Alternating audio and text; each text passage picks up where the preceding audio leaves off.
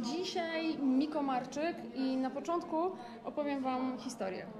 Miko tę historię przeżył, ja tę historię znam z kilku źródeł jeszcze niezależnych od tego. Jest 2015 rok, spotkanie w Ustroniu, w Ustroniu z Kajetanem Kajetanowiczem, który w tym roku po raz pierwszy zdobył tytuł Mistrza Europy. Kończy się ta część oficjalna, są potem autografy i taki młody chłopak w okularach czeka z boku, czeka aż się skończy ta część oficjalna, po czym e, nie idzie po autograf, tylko idzie po rady. Zadaje bardzo konkretne pytania Kajetanowi, w jaki sposób zostać kierowcą rajdowym. Tylko nie takie ogólne, ale bardzo precyzyjne. I wszyscy dookoła Kajetana już zestresowani, bo miał gdzieś iść, miał jakieś zobowiązania, mieli już dawno temu stamtąd wyjść, ale on jeszcze rozmawia z takim chłopakiem z Łodzi. I to był Miko Marczyk. Parę lat później stanęli razem na podium karowej. Teraz, w tym roku, spotkają się na OS-ach Mistrzostw Świata w WRC 2. Miko, dzień dobry.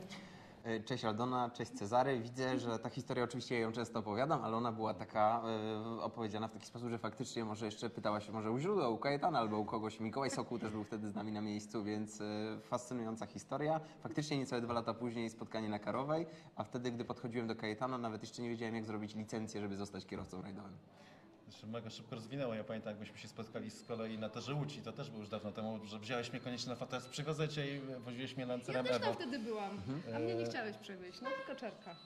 No to, A, widzisz.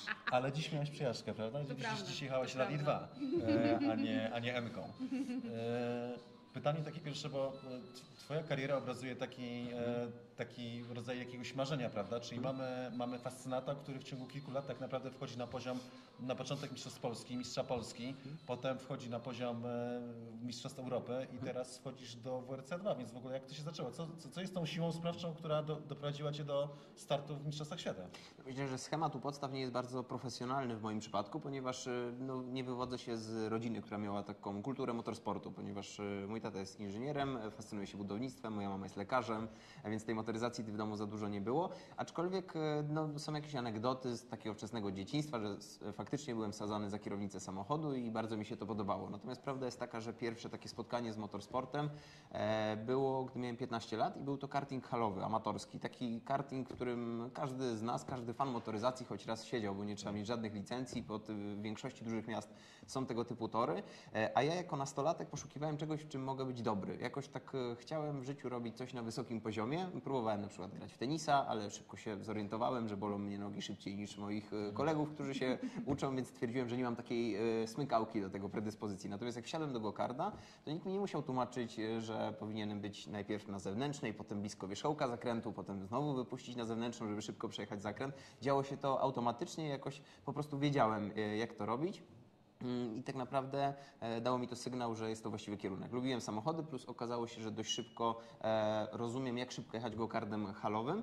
E, no i tak zaczęła się ta droga i ta droga była na samym początku ściśle związana z moją pasją i determinacją, ponieważ rodzice nie, w żaden sposób nie blokowali mi tej pasji, natomiast też nie pchali mnie w to na 100%, więc ja sobie od 15 do 19 roku życia układałem tak e, scenariusz szkoły i weekendów, że wszystkie weekendy spędzałem na torach e, go-kardów halowych, to też jest ważne, nie w kartingu profesjonalnym, nigdy nie miałem swojej ramy, swoich mechaników, nie jeździłem na dalekie zawody, tylko jeździliśmy na tak zwanych rentalach, na wózkach wypożyczanych na torach, przygotowywanych przez organizatorów, co miało swój urok i uważam, że e, ta dyscyplina ma dużo zalet ze względu na to, że po pierwsze e, finansowo z realnego motorsportu jest najbardziej przystępna, a to oznacza, że e, poziom sportowy potrafi być bardzo wysoki, ponieważ żeby wystartować, no nie musimy mieć e, dużego wsparcia finansowego. Było wielu zawodników, którzy startują na wysokim poziomie, ponieważ byli i ci z licencjami, często z prawdziwych wyścigów i tacy amatorzy, którzy byli równie, równie szybcy. I druga rzecz, Gokardy były losowane. To znaczy, że czasami mogłem się poczuć jak przez wiele lat Lewis Hamilton w Mercedesie, ponieważ miałem wózek petardę, a czasami los losowało się tak zwanego kasztana, jak to mówiliśmy. I mogłem się poczuć, nie wiem, jak George Russell w ostatnich latach w Williamsie na przykład, więc trzeba było sobie dać radę w każdym wózku. I to było tak naprawdę fajne, e, no bo nie było powtarzalnie, że ktoś ma dobrego inżyniera, dobry sprzęt, tylko liczył się człowiek i szybka adaptacja do gokarda. Wsiadaliśmy, nie wiem, gokard nie skręcał w prawo, nie wstawał z dołu, nie było na co narzekać, trzeba trzeba było szybko w jedno kółko tak naprawdę złapać jakąś taką adaptację i jechać tak szybko, jak się potrafi. I to był ten okres, który był dla mnie wygodny, ponieważ gokardy halowe nie mają żadnych kibiców, interesują się tylko tym fanatycy, którzy się ścigają, a nawet my nie lubimy na- patrzeć, jak sami nie startujemy, bo to jest tak nudne, jak to sześciokonne wózki w kółko.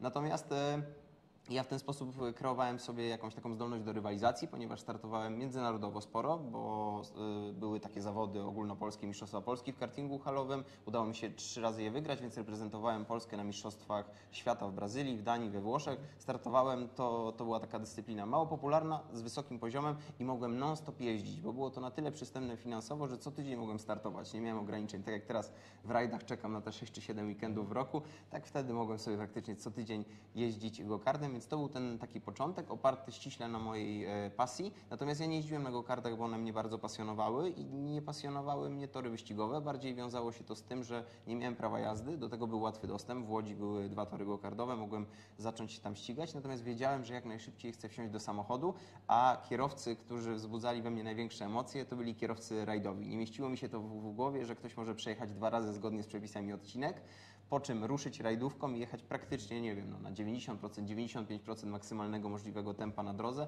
niezależnie czy to jest lód, śnieg, e, asfalt, shooter, każda nawierzchnia i, i to było coś wyjątkowego dla mnie. Kajetan Kajetanowicz, Sebastian Lep, Sebastian Ożyje, w szczególności ci tacy mistrzowie, którzy robili to konsekwentnie, z przemyśleniem, nie szaleńcy, a ci, którzy udowadniali, że po prostu da się opanować ten sport i złożyć to wszystko w całość. Dlatego też, jak szybko tylko mogłem, wsiadłem do samochodu e, w rally sprintach najpierw, znowu też taka amatorska droga. Przepraszam, że ja tak non-stop mówię, ale mogę, możemy przejść tą historię, to już będziemy mieć ją za sobą. Tak, To ja tak. już dokończę, żebyśmy mieli to ułożone. Więc z Gokarda przesiadłem się do BMG 30. E, Pamiętam, bo byłem w Niemczech na studiach. To były studia w ogóle takie dualne, równolegle praktyka zawodowa z, mm, z semestrem akademickim. To było wszystko mieszane. No i rodzice też wspierali mnie finansowo, żebym sobie mógł zwiedzić tam, e, to było w Niemczech, e, weekendy spędzać w wolnym e, czasie tak, jakbym chciał. Natomiast ja skrupulatnie odkładałem wszystkie pieniądze. Pamiętam, że na stołówce szkolnej za 3 euro można było zjeść bardzo, bardzo dobry obiad. I jak tylko wróciłem do pierwszego dnia, kupiłem za te pieniądze zaoszczędzone pierwsze auto do rally sprintu, do Kajotesów. No i tą BM-ką zacząłem się ścigać i też wtedy pojawiły się pierwsze osoby, które podzieliły mm, no, wiarę w, mój, w moją pasję, w mój talent. Chodzi o to, że jest mnóstwo osób, które marzą o tym samym. Ja sam upalałem, o Simach też warto było porozmawiać, tak? I sobie wyobrażałem, że jestem kierowcą rajdowym, bo tak jak jestem, jakby fascynuję się wyścigami, to jednak e, symulatory zawsze, zawsze jeździły rajdowe. Więc to jest mnóstwo osób, ale na jakimś etapie to ty jesteś tym człowiekiem, który z punktu wyjścia karting halowy i tej fascynacji i tych marzeń e, zdobywasz tytuł mistrza Polski, a teraz wchodzisz do mistrza świata. Więc gdzieś tam chyba pojawia się, e, nie wiem, jakiś duży naprawdę talent i chyba determinacja. Jakie są takie, co, co, co ci pozwoliło wejść? No, sobie wtedy, jeżdżąc kartingu halowym, że będziesz kierowcą mistrza świata? No na początku ta predyspozycja, o której wspomniałem, wydaje mi się, że to jest ważne, natomiast i na początku ona stanowi duży procent całości, tak bym określił. Wśród niedoświadczonych zawodników ma to duże znaczenie. Potem im e, profesjonalizujemy się bardziej, idziemy do sportu takiego zawodowego, to talent e, zaczyna mieć dużo mniejsze znaczenie względem nakładu pracy, który jest e, włożony. Natomiast jeżeli chcemy pozyskać finansowanie zewnętrzne, co jest bardzo ważne wchodząc do profesjonalnego motorsportu, musimy wykazywać się talentem. Ja to nazywam, że to jest taki suwak. W motorsporcie w ogóle nie trzeba mieć talentu, ale wtedy trzeba finansować sobie samemu tą zabawę. A jeżeli e, liczysz na to, że i musisz mieć takie wsparcie zewnętrzne, żeby startować na wysokim poziomie, no to ten suwak przejeżdża i trzeba mieć jak najwięcej talentu, determinacji, zaangażowania, siły mentalnej, psychologii sportu, żeby też e, wykazać się w zawodach, udźwignąć też e, te, te wymagania sponsorów, więc tutaj pod tym kątem myślę, że to jest taki szereg cech, rzeczy, które na dzisiaj pozwoliły mi co nieco awansować, natomiast ja nie powiedziałbym, że tutaj ja udowodniłem jakiś jeszcze niesamowity poziom na ten moment. Mówisz o tym e, talencie, to jest taki kontekst, w którym ja o Tobie po raz pierwszy usłyszałam. Pamiętam, że byliśmy wtedy na testach e, w Barcelonie, ja Formuły 1, ja odbieram telefon, słuchaj, bo jest taki super utalentowany Polak, najbardziej utalentowany młody polski kierowca rajdowy i potem to najbardziej utalentowany młody polski kierowca rajdowy, poprzedzające nazwisko Miko Marczyk pojawiało się wiele, wiele razy. Jak Ty się masz z tą łatką teraz? Czujesz, że wyrosłeś już z tego, czy... Słuchajcie, to jest w ogóle trudne, bo to też bym nawiązał do tego, że ja nie jestem tylko kierowcą w tym zespole. Trzeba sobie szczerze powiedzieć, że jestem też organizatorem całego programu, tego przedsięwzięcia i też ja nie ukrywam, że z jednej strony mam jakąś obiektywną świadomość na temat swojej wartości, a z drugiej strony staram się też być PR-owcem w ramach naszego zespołu. Mamy e, kilka osób, więc e, wyobrażam sobie sytuację, w której też może ja staram się to kreować, żeby to były takie tytuły, bo inaczej, my wszyscy wiemy w świecie motorsportu i jesteśmy w stanie to przeanalizować. Natomiast sport ma pewną e, swoją grupę odbiorców jeżeli chcemy wyjść szerzej do partnerów, od których zależą moje starty, no musimy wyjść z mocnym przekazem. Dlatego ja się w ogóle nigdy nie złoszczę na e, moich konkurentów, kierowców, którzy mówią, że są w czymś naj, poszukują czegoś, e, w czym są wyjątkowi. Ja też to robię, bo każdy z nas stara się zwrócić uwagę. Podchodzę do tego w sposób taki, że cieszę się, że się pojawiają takie przedrostki, takie tytuły, bo to e, daje szansę, że ktoś zwróci na mnie uwagę, więc poszerza się moje grono odbiorców, ktoś się może zainteresować moją historią. Natomiast co innego ja uważam na swój temat tak bardzo jako swój taki trener i e, obiektywna osoba, która stara się, stara się to jakoś ocenić i nie wiem, czy tak jest y, na 100%. Ja bym powiedział, że w tej chwili wchodzimy w tą kluczową fazę, żeby ocenić, jak wysoki jest mój poziom sportowy i mój potencjał. Wykazałem się na poziomie Mistrzostw Polski, które mają pewien poziom sportowy. On nie jest niski, nie jest słaby, natomiast nie jest to sport w pełni zawodowy. Jest bardzo mało kierowców, którzy są tacy w pełni profesjonalni, tak bym ich określił. Wśród nich wykazałem się dość szybko. Byłem w stanie w dwa lata osiągnąć, osiągnąć swoje cele. Mistrzostwach Europy, które nazwałbym cyklem półprofesjonalnym, półzawodowym. Ja trafiłem na takie lepsze lata z Andrasem Mikkelsenem, z Aleksiejem Łukianiukiem, często Mats Osberg, Dani Sordo na starcie przez te dwa lata, gdy startowałem. Uważam, że tam dostałem taki sygnał i dlaczego dzisiaj rozmawiamy przed sezonem Mistrzostw Świata WRC2, bo ja bardzo mocno, szczerze, wewnętrznie uwierzyłem w swoje możliwości i zrobiłem co tylko mogłem, żeby jak najszybciej pojawić się na trasach WRC2. No właśnie to moje pytanie, bo to są naprawdę wielkie nazwiska, świetni profesjonalni kierowcy, zwycięzcy rajdów e, WRC. E, po pierwsze, czy miałeś jakąś wielką tremę, jakąkolwiek może nawet, e, kiedy wiedziałeś, że startujesz razem z nimi, a po drugie, na, jak, jak byłeś w stanie wykryć to, że, że, że jesteś wystarczająco dobry, żeby atakować WRC? No, na początku było bardzo trudno. Raid Roma di Capitale 2020 to mój debiut w Mistrzostwach Europy i pamiętam, że traciliśmy tam po półtorej sekundy na kilometrze, podczas gdy w Polsce byliśmy w stanie walczyć o pierwszą pozycję, a tam cieszyliśmy się, że na 30 parę piątek zbliżamy się do dziesiątej pozycji, więc było mnóstwo lepszych zawodników. Natomiast wróciłem do domu, zacząłem to analizować, krok po kroku zacząłem rozpracowywać, dlaczego są lepsi. Nie traktowałem ich nigdy jako e, wyjątkowych, zawsze analizowałem ich poziom doświadczenia, ilość rajdów, które startują, bo w tym sporcie trzeba bardzo szeroko spojrzeć. No i nigdy się nie podłamałem. Pamiętam, że po każdym rajdzie zostawaliśmy, przeglądaliśmy onboardy na YouTubie, FIARC udostępniało i na przykład, nie wiem, Oliver Solberg miał opis w języku angielskim, więc e, sobie z Szymonem przepisywaliśmy jego opis, patrzyliśmy na nasz i jeździliśmy po tych odcinkach i zastanawialiśmy się, dlaczego on tak widzi drogę. I poczułem się trochę, jakbym miał korepetycję od samego Petera Solberga, bo pewnie ciężko mi się było mówić, no ale ten opis to jest jakaś wizja drogi ich lepszych ode mnie zawodników i zacząłem pobierać lekcje, takie trochę zdalne, e, na arenie międzynarodowej z internetu i krok po kroku roku zaczynało to wyglądać coraz lepiej. Ten kolejny rok już był dużo lepszy, ponieważ trzy z ośmiu naszych startów w Mistrzostwach Europy były zakończone na podium w klasyfikacji e, generalnej. Bodajże na osiem startów dwa albo trzy razy to my byliśmy przed Andrasem Mikkelsenem na mecie, e, co nie znaczy w ogóle, że jesteśmy, że jesteśmy tak samo dobrzy, ale realnie z półtorej sekundy na kilometrze myślę, że spadliśmy na pół sekundy na kilometrze na trasach, na których pojawiliśmy się po raz drugi. Andreas Mikkelsen też w większości je znał, wygrał e, Mistrzostwo Europy. Ja czułem, że nasz potencjał e, sportowy wzrasta, w szczególności na krótkich odcinkach specjalnych, które moim zdaniem określają technikę jazdy kierowcy. E, długie odcinki specjalne określają jego opis rajdowy, jego taką skuteczność, dojrzałość rajdową, której jeszcze brakuje, jeszcze tego nie ma, natomiast sama czysta prędkość, nie wstydzę się jej. Ścigałem się nieraz na testach z Nikolajem Griazinem, wygraliśmy nie jeden odcinek kwalifikacyjny i testowy w Mistrzostwach Europy, więc e, mam powody do tego, żeby czuć się mocny, ale wiem, jak ten sport jest złożony, dlatego ja Wam dzisiaj nie powiem, że tak szczerze to ja jestem tym największym, niesamowitym polskim talentem. Natomiast wiem dobrze, że przy pewnym ułożeniu elementów i złożeniu je w całość, możecie mieć ze mnie dużo jeszcze powodów do radości. Bo mam 26 lat, więc mam jeszcze chwilę.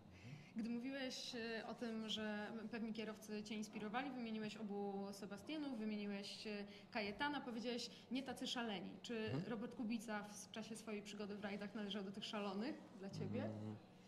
Robert Kubica to kierowca wyjątkowy, kierowca, który I dla mnie ja jestem takim chłopakiem, który jakbym to porównywał do podwórka, to ukradł jakąś książkę i przeczytał jedną, jak jeździć autem, a Robert Kubica kończył Harvard. Tak bym to określił, jakby to porównać do wykształcenia takiego akademickiego. E, I no, ta jego prędkość, to jest kierowca Formuły 1, to jest absolutny top, absolutnie wyjątkowy kierowca, który w swoim szczycie myślę, że był jednym z dwóch, trzech najlepszych kierowców świata po prostu, jeżeli chodzi o prędkość. E, Potem w rajdach mam wrażenie, że, że chciał bardzo szybko, korzystając ze swoich ogromnych kompetencji prędkości, szybkości, przyswajania danych, które w rajdach mam wrażenie nie są nieraz tak precyzyjne jak na torach wyścigowych. Mi się tak po prostu wydaje, nie znam, nie znam świata wyścigów. No, szedł niby drogą taką, żeby szybko nabrać to doświadczenie, natomiast z mojej perspektywy mm, ta strategia nie była za dobra, jeżeli chodzi o pozyskanie doświadczenia ostatecznie i efekt końcowy w długiej fazie zdobycia na przykład nie wiem, tytułu podium w Mistrzostwach Świata WRC, na co Roberta uważam, że bez problemu było stać. Przypomnijmy sobie, że bez problemu wygrywał z Elfinem Evansem, z Ojtem Tanakiem. Dzisiaj Tanak mistrz świata, Evans e, wicemistrz świata, a Robert był lepszy niż oni, dlatego ten potencjał był ogromny i mam wewnętrzną taką jako kibic sportową złość, bo chciałbym, żeby Robert był w rajdach, chciałbym, żeby był e, na szczycie e, i, i, i ten styl tego jechania bardzo szybko podczas zbierania doświadczenia mi to nie odpowiada. To nie jest e, zgodnie z moją strategią, ponieważ e, musimy pamiętać, moje starty są finansowane przez moich partnerów. W momencie, gdy robię to nie chochlą, a łyżeczką, jak to mówi Maciek Wisławski, e, jest taki stały wzrost, jest y, pewnego rodzaju zaufanie. Gdy po prostu ktoś nie wchodzi w szczegóły naszego sportu tak dokładnie, no to ma satysfakcję, że na przykład, nie wiem, Miko Marczyk był dziesiąty, trzy miesiące później był siódmy, potem był piąty, za rok może będzie czwarty, a za trzy lata będzie pierwszy. Mam wrażenie, że jest to takie budowanie misji i filozofii trochę zgodne z biznesem niejednokrotnie. Podczas gdy Robert jedzie wybitnie, my to wiemy, natomiast yy, partner, kibic, który się nie interesuje, widzi trzy rozbite samochody w trzy miesiące i mówi, że to jest niedobry kierowca i tak dalej, co generuje zły nastrój społeczny, może brak satysfakcji u kogoś, kto się tym nie interesuje, więc ja do tego podchodzę też pod kątem takiej strategii, powiem szczerze, żeby generować frajdę u tych ludzi, którzy są dookoła mnie. Zawsze trzeba wybrać taki cykl sportowy, żeby rozwijać się jako zawodnik i dostarczać nagrody, zwycięstwa, puchary dla naszych sponsorów. To jest e, moja opinia, dlatego cieszę się, że wchodząc do Mistrzostw Europy ścigaliśmy się w klasyfikacji juniorskiej i ją wygraliśmy, Michelin Talent Factory, bo tu uważam, że było doświadczenie na miarę moich możliwości i podobni rywale i cieszę się, że w WRC2 na początku ta klasyfikacja juniorska też będzie dla mnie ważna, bo z jednej strony pewnie będziemy dojeżdżać w drugiej dziesiątce w WRC2, ale liczę na to, że wśród podobnych zawodników do mnie, Erik Zeiss, no Markito Bulacia, Nikolaj Grazin, Chri- Chris Ingram i tego typu zawodnicy, e, no tam powinniśmy pokazywać e, swój poziom sportowy. No to teraz w WRC2, no kategoria, w której obraz zdobył mistrzostwo yy, w 2013 13. roku, ojej, to już tyle. E, Kajten Kajtenowicz walczy od lat, jest kierowcą czołówki, będzie ścigać się w tej samej kategorii co trzykrotny mistrz Europy i w zasadzie no, we współczesnych rajdach nasz najbardziej utytułowany kierowca rajdowy, więc e, jak widzisz to starty w jednej kategorii z Kajtenem? No, Kajetan jest e, wybitnym kierowcą. Myślę, że analizując e, merytorycznie, sportowo historię polskich rajdów samochodowych, uważam, że to jest naprawdę pod wieloma względami, jeżeli chodzi o kompetencje zawodnika. Ja go porównuję do Sebastiana Ogier czy Leba, tylko no, trzeba się zastanowić zawsze, kto z czego wychodził, jaki miał start, jaki miał ten okres początkowy, w którym no, nie mógł się jeszcze rozwijać na profesjonalnym poziomie, więc y, Kajetan pod kątem sportowym jest wybitny i to jest taka e, moja opinia. Zresztą to, że dzisiaj Kajetan, mam wrażenie, nadal jest na stałej, maksymalnej prędkości, albo nawet czasami jeszcze mam wrażenie, że momentami rośnie, to świadczy o jego zaangażowaniu, determinacji, którą widać przez lata. Jeżeli chodzi o mnie i o tą rywalizację, no to do tej pory spotykaliśmy się tylko na barburkach warszawskich i cieszyłem się zawsze, że mogę być przed całą resztą świata, a zawsze sporo za Kajetanem i Maćkiem. Eee, myślę, że realnie patrząc w pierwszym sezonie, gdy Kajetan będzie piąty raz jechał trasę WRC2, nie mamy mm, żadnych takich przesłanek, zgodnie z moimi analizami, żebyśmy mogli zawalczyć z Kajetanem i Maćkiem. Mamy inne cele. Kajetan powinien i myślę, że ma szansę zawalczyć o tytuł e, Mistrza Świata w WRC2 z Maćkiem. A my myślę, że jakbyśmy mieli to analitycznie przełożyć, sekunda na kilometrze. To byłby taki e, bardzo dobry punkt e, startowy, jeżeli w skali całego rajdu, jeżeli takie coś by się udało e, utrzymać. Myślę, że może być to bardziej półtorej sekundy na kilometrze na początku. W skali dwóch lat uważam, że jesteśmy w stanie w przyszłym roku na wybranych rajdach doganiać Kajetana i Maćka. To jest moja opinia. Za półtora do dwóch lat, jeżeli program sportowy, który planujemy, będzie, będzie taki, jak, jak myślę, to potrwa to około dwóch lat. Zabrzmiało, jakbym był pewny siebie. Nie wiem, czy tak się wydarzy, ale nagrywamy to, więc sprawdzimy. Nie, szczerze zabrzmiałeś bardzo tak z dużą pokorą, nie? W sensie, że wie, wie, widziałem wiele osób, które próbowały wejść do rajdów tak, też z Polski. Nie powiem, że tam był brak pokory, ale też zazwyczaj widać było taki brak pojęcia. Wielu osobom się wydaje, jak jeżdżą w Polsce, że, że WRC to jest e, tak jak w Polsce, tylko mają lepsze samochody, jadą trochę szybciej. A I trochę jest, dłużej. I trochę dłużej, a to jest po prostu de facto inna dyscyplina sportu i mało kto miał takie no tutaj jakby z Twoich słów bije taka świadomość pełna, no bo półtorej sekundy to jest, na nasze warunki to jest dużo, nie tak e, teoretycznie, ale w praktyce to to jest takie bardzo właśnie zdroworozsądkowe Tak, podejście. ale powiem Ci, bo ja się nauczyłem jednej rzeczy. W 2019 roku na rajdzie Barum pojechałem, nie miałem tempa, bo byłem naprawdę jeszcze niedoświadczonym kierowcą, ale i tak próbowałem za wszelką cenę, rozbiłem się. Nie przejechałem tras rajdu, nie miałem doświadczenia z tego startu, a nawet jakbym dojechał, to czasy nie byłyby imponujące, bo zazwyczaj debiuty na Barumce są słabe u Tak. wszystkich kierowców. I wtedy się nauczyłem tego, że nie za wszelką cenę. Jestem przekonany, że w Mistrzostwach Świata WRC2 będzie tak, że będą odcinki specjalne, gdy, nie wiem, będzie wielka mgła, wielka kolejna, coś spotkam po raz pierwszy, coś będzie dla mnie zupełnie nowe i stracimy na jednym OS-ie 30 sekund, minutę. Ja wiem, że tak będzie i ja się na to godzę, bo to jest właśnie ta moja siła, która mam nadzieję, że pozwoli mi na to, że zostaniemy na drodze. Bo jeżeli ja przejadę te wszystkie 6 rajdów do mety w pierwszym roku, to ja w drugim już mogę zacząć być konkurencyjny. A jeżeli w pierwszym roku przejadę 3, na trzech się rozbiję, to znowu w przyszłym roku będę opowiadał, że debiutuję na, na trasach i muszę zebrać doświadczenie. W pierwszym i tak nie będę imponujący, bo powiem Ci szczerze, że jakbym próbował za wszelką cenę, to może się zbliżę, nie wiem, na 0,7-0,8 e, sekundy na kilometrze do tych najlepszych, więc to nadal jest jakaś tam odległość, a mogę się rozbić, więc wolę czasami zostać, tak jak mówię, może półtorej, może dwie, może jeden i dwa, ciężko mi powiedzieć, e, ale dojechać rajdy do mety, natomiast wiem też, że będą już w pierwszym sezonie pojedyncze odcinki, które będą szybkie. Miko, zawsze byłeś taki młody dorosły? Tak, tak, chyba dość wcześnie. Jako nastolatek wziąłem życie w swoje ręce. E, Tak bym to określił. Rodzice mi dali taki pakiet jakichś kompetencji, dali mi swobodę, natomiast e, ja wszystko już potem zrobiłem tak, jakbym chciał, ponieważ wiem, że mam predyspozycję do sportu motorowego.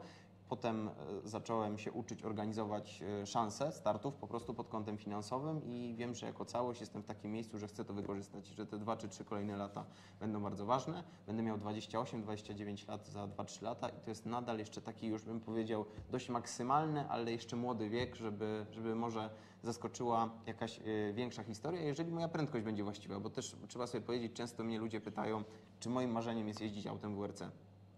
Nie, jeżeli nie będę miał do tego predyspozycji. Jeżeli moja prędkość będzie właściwa, to tak, zrobię wszystko i zobaczycie, że będę jeździł tym autem. Jeżeli będę za 2 czy 3 lata w WRC2 na topie prędkości, to dołożę, myślę, cały ten pakiet, oprócz tego, który trzeba mieć, a Wy dobrze wiecie, że to nie jest tylko prędkość, ale trzeba mieć też właściwe relacje z zespołami, z szefami zespołów, dlatego też chcę jak najszybciej trafić do parku serwisowego WRC, poznać te osoby, bo po dwóch latach w Mistrzostwach Europy znam wszystkich, więc dom- domyślam się, że po dwóch czy trzech latach w padoku WRC będzie, będzie podobnie. To jest dla mnie bardzo ważne. Trzeba mieć za sobą zawsze finansowanie również. E, najlepiej takie narodowe, które, które ja jako kierowca w tej chwili mam. I to wszystko razem z prędkością e, i taką też myślę bezawaryjnością, która na szczycie jest bardzo ważna, żeby być na metach tych rajdów, to da szansę na coś. No, Zbliżamy się do końca. Tak, znowu wygląda to super zdroworozsądkowo. E, to Za mądry jest jeszcze-. E, nie, na, na motosport nie można być za mądrym. To jest, to jest sport właśnie głowy, tak, mądrości. Tu nie ma nic szaleństwa ani w przypadku w motorsporcie. Naprawdę, to, to, jak, to ogólnie ma tak wyglądać. Kierowca rajdowy ma jechać, żeby z boku wyglądało, że to jest na 110%, a dla niego to ma być na 90%. To, to jest taka moja opinia i tak, tak jak ja uważam, że się do tego powinno podchodzić. I strategię też się da opanować, jak we wszystkim w życiu. Mówiłeś o tych e, starych mistrzach, starych, no tam Ożej jeszcze nie jest taki stary, ale już odszedł z rajdów. E, Teraz mamy jeszcze taki moment, że wchodzi to nowe pokolenie i szczególnie no, Kalle Rovanpera. To jest Mhm. taki przykład kierowcy, który jest kształcony w rajdach od dziecka. Tak? On Tak. nie był nawet nastolatkiem, jak pierwszy raz jeździł. Więc powiedz mi, e, jak patrzysz na to właśnie od tej strony wyzwania dla Ciebie? E, Raz, a dwa, kto, którzy kierowcy są Twoimi faworytami? Na kim byś się mógł, nie wiem, wzorować, czy, czy, czy kto jest dla Ciebie takim największym autorytetem w tym sporcie? To jest bardzo ciekawy moment sportu rajdowego na świecie, moim zdaniem, ze względu na to, że mamy dwóch kierowców, którzy byli wychowywani od dziecka e, przez mistrzów rajdowych i mają pełen pakiet wiedzy e, i doświadczenia, zanim jeszcze się w ogóle pojawili. Kalle Rovanpera i Oliver Solberg. Na to wszystko jest nadal grupa kierowców w starym stylu. Nie wiem, Adrien Formeau, Lubé, Eric Zeiss i kilku innych zawodników, którzy no, wchodzą tak krok po kroku e, do, do tego sportu. Nie odpowiem dzisiaj na to pytanie, czy ta cała reszta będzie w stanie docelowo dogonić ich na 100%, e, gdy już wszyscy będą na najwyższym poziomie, bo to, że oni mają z 20 lat są lepsi, to jest naturalne, bo mają już takie doświadczenie, jakiego nie mają inni 20-latkowie, którzy, nie wiem, Adrian Forma miał 18 lat, jak zaczynał jeździć, więc nie może mieć w dwa lata takiego bycia jak Calero Vanpera, który, który jeździ od e, dawna. Natomiast nie liczy się, kto jak jest szybszy, mają, ma, e, gdy ma 20 lat. Liczy się, kto jak jest szybki w swoim najmocniejszym momencie. Może to być jak ma 28, 33. W ogóle ta, e, że tak powiem, szerokość wieku w motorsporcie strasznie rośnie. E, Sebastian Loeb wygrywa Raid Monte Carlo mając 47 lat, Calero Vanpera mając 18, więc e, to tak naprawdę jest bardzo szeroko. Uważam, że są do dogonienia. Są do dogonienia, powiem, powiem Ci dlaczego. Ponieważ gdy już któryś z tych kierowców, którzy wchodzą w taki w moim stylu bardziej, będzie miał bardzo dobrą technikę jazdy, doświadczenie, to mają przewagę nad nimi taką, że oni nie przeszli tej drogi, żeby być w tym miejscu e, i żeby móc walczyć. To jest taka moja opinia. Siła zdarzeń, historii i tego, jak musiałeś ciężko się na, napracować, jak musiałeś wymyślać, ściągać od innych, kombinować, być sprytnym, powoduje, że masz przewagę nad tym, który trochę nie wie, jak dużo miał dane. To jest takie coś, co ja zauważyłem w sporcie, jeszcze w kartingu e, i to jest taka moja opinia. Natomiast nie dam sobie ręki uciąć, że oni są do dogonienia, ale wydaje mi się, że są. To super to słyszeć. Mega wywiad w ogóle. Znowu robi, zrobić wielkie wrażenie. Bardzo Ci dziękujemy i będziemy się widywać jeszcze nie raz. Przepraszam, że się tak rozgadałem na początku. Nie, nie, nie, Ta nie, historia jest w ogóle długa, może kiedyś nam się uda spotkać na dłużej. Ja uważam, że ona jest motywująca, bo ja dzisiaj uważam, że nie trzeba mieć bardzo dużej ilości pieniędzy y, bazowo ze swojej rodziny, z domu, żeby zostać profesjonalnym kierowcą, jeżeli ma się duży talent, ponieważ symula- symulatory, świat wirtualny, świat kartingu halowego, naprawdę można się tak wykazać przy świecie internetu, gdzie każdy jest dziennikarzem i może zwrócić na siebie uwagę, że trzymam kciuki za wszystkich zawodników i, i da się, jeżeli się chce. I to jest lekcja. Dzięki wielkie i trzymamy Dzięki. kciuki z całych sił i będziemy po prostu obserwować Cię. To ja Wam bardzo dziękuję. Dziękujemy.